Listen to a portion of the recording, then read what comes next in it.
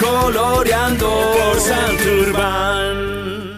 El equipo de Coloreando por Santurbán tuvo una jornada muy emotiva y colorida con los niños, jóvenes y adultos de la Asociación Cognitivos y Múltiples de Pamplona. Porque debajo en el suelo hay una riqueza muy grande. Esta asociación trabaja en la integración social de sus 30 miembros con la comunidad, buscando el apoyo pedagógico y terapéutico necesario. El tema más importante es hacerle entender a la sociedad que ellos también son seres humanos y que sienten y que no son discapacitados, son personas con capacidades especiales. Edwin tiene 24 años y aunque no puede hablar, expresa su amor por la naturaleza a través de la pintura. Ellos entienden lo que está pasando, la situación, ellos les gusta mucho la naturaleza, les gusta mucho los animales, les gusta caminar. Después la gente que ve más abajito, que es un bosque alto andino, se llama así.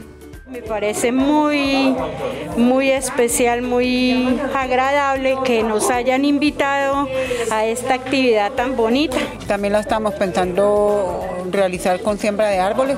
¿Por qué? Porque es algo que a ellos les gusta, el contacto con la naturaleza. Todo lo que se cultiva necesita el agua de Santurbán. Emocionado, sencillamente emocionado de que este proceso que muchísimas personas están haciendo posible está llegando a tantos niños y al igual que ellos, todos colocando ese amor, ese cariño, ese sentido de lógica por la vida y de amor por la naturaleza y de cuidado por nuestro páramo de Santurbán. Los niños de la Asociación Cognitivos y Múltiples de Pamplona están Coloreando por Santurbán.